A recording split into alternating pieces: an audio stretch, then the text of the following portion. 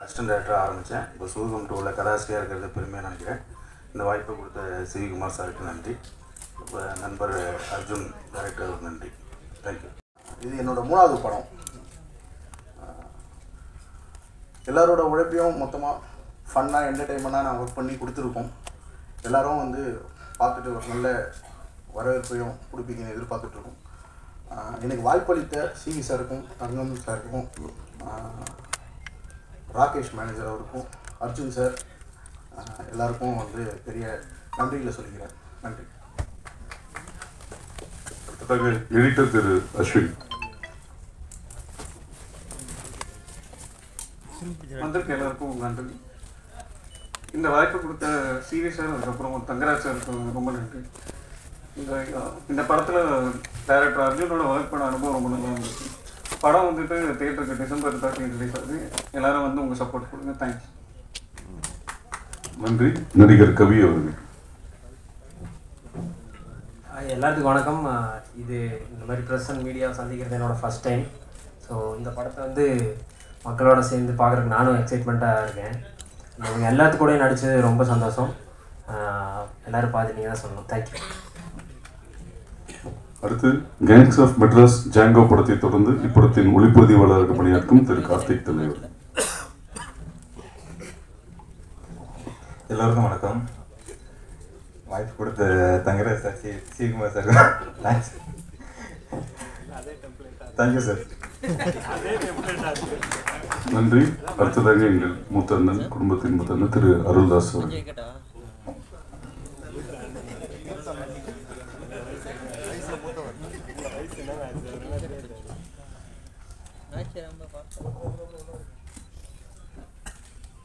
மேடையில் இருக்கக்கூடிய பெரியவர்களுக்கும் நண்பர்களுக்கும் என்னுடைய வணக்கம். இல்லை அண்ணனே நல்லா பக்கம் சொல்லிடலாம் சோதுகவும்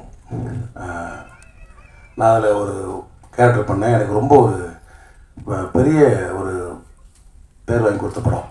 ஒரு ஒரு வில்லனா நெகட்டிவ் கேரக்டர் பண்ணிக்கிட்டு இருந்தப்போ ஒரு ஹியூமனும் பண்ண முடியும் அப்படின்னு ஒரு தெரிய வச்ச படம்.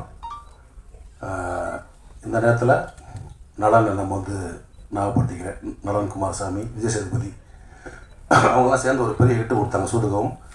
அதனோட இன்னொரு வெர்ஷன் பார்ட் டூ ஆனால் அதில் வந்து வேறு ஜானர் இதையும் வந்து ஆஹ் சிவகுமார் சாரும் உடன் சேர்ந்து தங்கர சாரும் தயாரிச்சிருக்காங்க.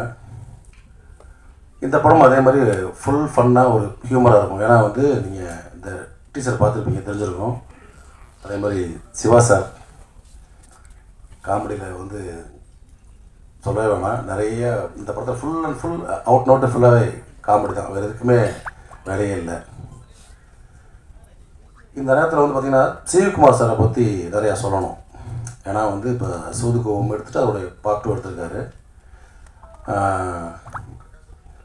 நிறைய புதுமுக இயக்குனர்கள் நடிகர்களை அறிமுகப்படுத்திருக்காரு தமிழ் சினிமாவுக்கு. எப்படி சொல்லணும்னா ஒரு தொண்ணூறு காலகட்டங்களில் ஒரு ஆவத்தூர் ஃபிலிம்ஸுக்கு வந்து எப்படி திரைப்பட கல்லூரி மாணவர்களுக்கு வந்து ஒரு பெரிய ஒரு கேட்டாக இருந்துச்சோ அதே மாதிரி டூ தௌசண்ட்ஸில் பார்த்தீங்கன்னா ஷார்ட் ஃபிலிம்ஸ் பண்ண இயக்குனர் நிறைய பேரை வந்து புது புது கண்டென்ட்டோட டைரக்டராக ஆக்குனது வந்து குமார் சார் தான்.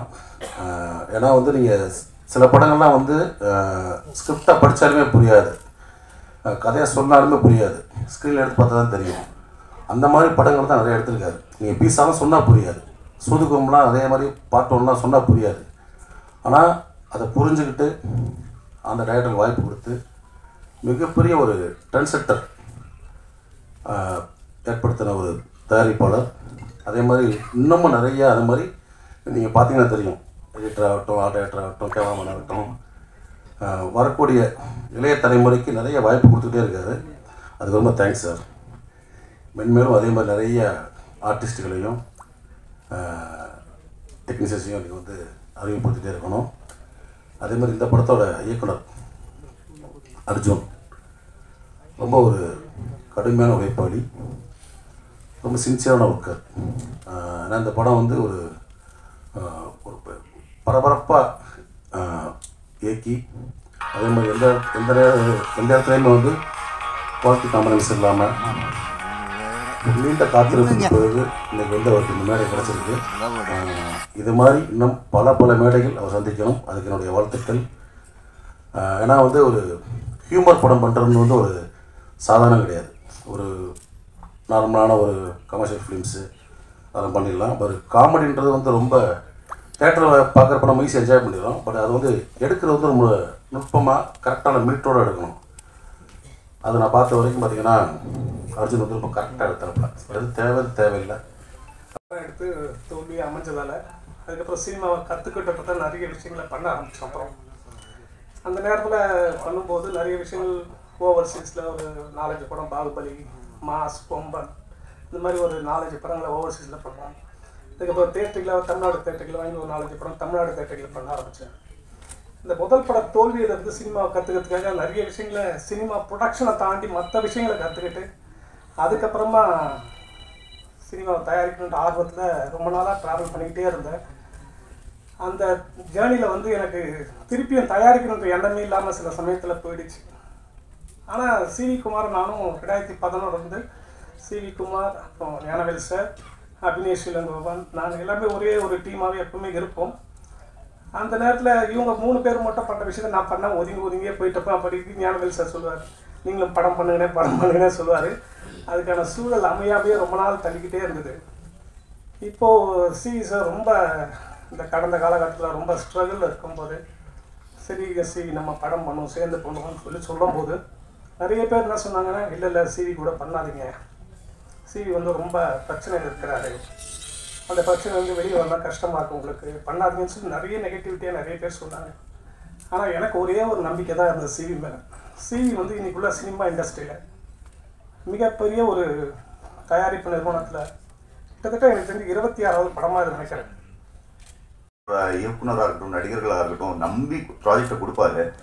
அந்த நம்பிக்கைக்கு சீரியஸாக தேங்க்யூ ஸோ மச் சார் எத்தனையோ இயக்குனர்கள் என் நண்பர்கள் நலன் கார்த்திக் சுப்பராஜ் இவங்க எல்லாருக்குமே டெபியூ ஃபஸ்ட்டு ஃபிலிம் பண்ணி கொடுத்தாரு சார். ஒரு பெரிய ரிலீஸ் எல்லாமே பெரிய ஹிட் ஸோ என்றைக்குமே திருக்குமரன் என்டர்டெயின்மெண்ட்டு எங்களோட வீடு அந்த ஸ்கூல் ஸ்டூடெண்ட்டாக ஓல்ட் ஸ்டூடெண்ட்டாக நான் ஃபீல் பண்ணிக்குவேன். நீங்கள் சூதுகோமுக்கு எப்படி நல்ல விமர்சனம் கொடுத்து அந்த படத்தை பெரிய வெற்றி படமாக்குனீங்களோ அதே மாதிரி சூதுகோம் பார்ட் டூ நிறைய கனெக்ஷன்ஸ் இருக்கும். இதில் ரொம்ப கம்ப்ளீட் ஒரு ஹியூமர் நல்ல காமெடி படம். மிர்ச்சி சிவா சாரோட ஸ்டைல் ரொம்ப பிடிக்கும். Big fan of you sir அவரோட இருந்தோம்னாலே கலகலப்பாக இருக்கும். இப்போ பாருங்க இப்போ அவர் இங்கே வந்து பேச ஆரம்பிச்சோன்னா அவ்வளோ ச- சிரிப்பும் சந்தோஷமும் அந்த அளவுக்கு ஜாலியாக இருக்கும். ஸோ நான் மெயினாக வந்ததே பாண்டிச்சேரியிலேருந்து கிளம்பி அவரோட ஸ்பீச் பார்க்கறதுக்கு தான். So lovely working with you sir என்னோட ஃபர்ஸ்ட் ரிலீஸ் கலகலப்பு ஹீரோ நாங்கள் அதிக அதிகமாக அடிக்கடி மீட் பண்ணிக்குவோம். பட் திரும்ப இந்த படத்தை ஒர்க் பண்ணது ரொம்ப சந்தோஷம். இங்கே வருகை தந்திருக்கும் அனைவருக்கும் நன்றி. Thangaraj sir thank you so much sir co produce பண்ணதுக்கு. டிஓபி கார்த்திக் சார் வந்து நடித்தார் அதுலேயே அதுலேயும் ரொம்ப நல்ல பேர். இதுலேயும் நிச்சயமாக நல்ல பேர் வரும். ரெண்டாவது எங்கள் மாமா கூட வந்து எனக்கு ஒரு நாற்பது ஆண்டுகளாக பழக்கம் இருந்தாலும் இந்த படத்தில் தான் அவர் கூட ஃபஸ்ட்டு ஃபஸ்ட்டு சேர்ந்து நடிக்கிறேன் இல்லை மாமா? ஆமாம் அதே மாதிரி அர்ஜுன் வந்து ரொம்ப அற்புதமான ஒரு தம்பி. ரொம்ப அருமையாக சொல்லி கொடுத்து இந்த மாதிரி இருக்கணும் அப்படின்றத கேட்டுக்கிட்டு அப்படி வாங்கக்கூடியவர். எல்லாருமே ரொம்ப நல்ல டைப் மறக்க முடியாத விஷயம். டிசம்பர் இருபத்தி எட்டு அன்னைக்கு ஷூட்டிங் மாமா வந்திருக்காங்கன்னு சந்தோஷப்பட்டு ரவி அண்ணனும் நடிக்கிறாங்க அப்படின்னு சந்திரசேகர் மாமாவுடைய கேரவனில் தான் போய் உட்கார்ந்து வாடா சாப்பிடலாம் அப்படின்னாப்பில். டிஃபனை பிரிக்கும்போது தான் வந்து ஒருத்தர் சொன்னார் நம்முடைய அருமை அண்ணன் கேப்டன் விஜயகாந்த் அவர்கள் மறைந்தார். அப்படின்ற ஒரு செய்தி. நாங்கள் அன்றைக்கி சாப்பிடவே இல்லை. என் மூடே இல்லை. நான் அழ ஆரம்பித்தேன். நான் ஒரு பக்கம் அழுகுறேன் மாமா ஒரு பக்கம் அழுகுறாப்புல என்ன பண்ண முடியும்? அன்றைக்கி அந்த ஷூட்டிங் முடிச்சுட்டு இருபத்தி ஒன்பதாம் தேதி அந்த அண்ணனுடைய இறுதி நிகழ்வில் கலந்துக்கிட்டோம் அதனால் இந்த ஷூட்டிங் நடந்தது என்றைக்கு அப்படின்றத மறக்க முடியாத ஒரு விஷயம் கிட்டத்தட்ட ஒரு ஒரு வருஷம் நெருங்க போகுது.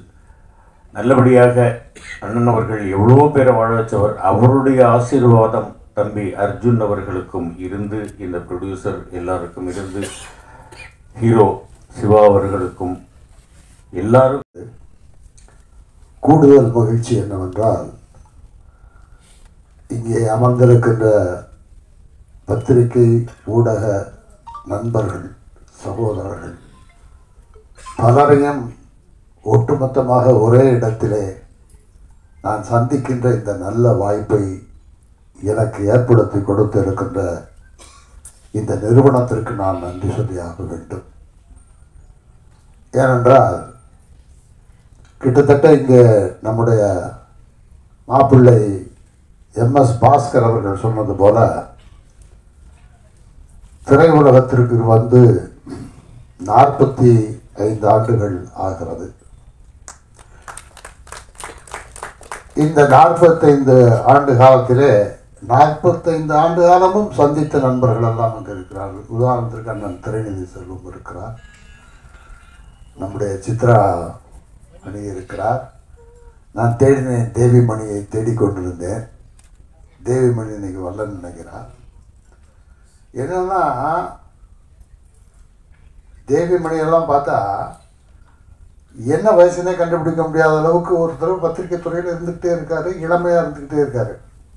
இப்போ தான் கொஞ்ச நாளாக வந்து டை அடிக்கிறத அவர் விட்டுட்டார். இப்போ தான் லேசாக வசதி வயது வயது தெரியுது. ஆனால் கூட இப்போ எல்லாருமே முப்பது வயசில் எல்லாருக்குமே முடி வெளுத்து போச்சுல அங்கேயும் தெய்வமணியோட வயசை கண்டுபிடிக்க முடியல. ஸோ அவருடைய நினைவெல்லாம் எனக்கு வந்தது. அண்ணன் தரணி செல்வம் கொஞ்சம் அப்படியே ரிலாக்ஸாக சாட்சி படுத்திருக்காரு அவனோட நினைவுகள்லாம் எனக்கு வந்து இது வரைக்கும் போயிடுச்சு இலங்கை தமிழர்கள் பிரச்சனை வரைக்கும் போயிடுச்சு பழனி இருக்கார். எல்லா நண்பர்களையும் பார்க்குற ஒரு நல்ல வாய்ப்பு. மேடை கொடுத்து பேச வச்சுட்டாரு.